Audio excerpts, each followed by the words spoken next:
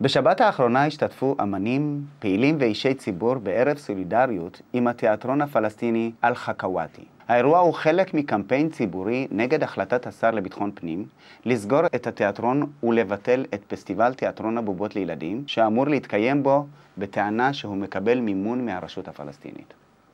פסטיבל הבובות של תיאטרון אל-חכוואתי נסגר כמו הרבה דברים שנסגרים לפנינו.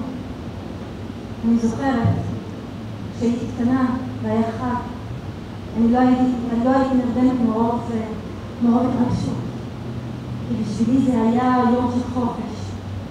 אני בטוחה שהרבה ילדים בירושלים, במחנות הפליטים, לא ישבו, וחלמו על פסטיבל הבוגרות, ואז מישהו בא בשקט וגנב מהם את החלומות.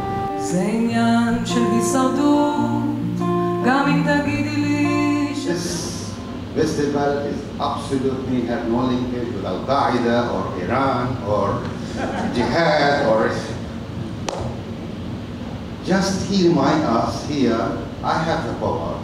I can do whatever I want. Even closing down a theater and banning a children festival. Where? In East Jerusalem. The story of Al-Hakawati is the story of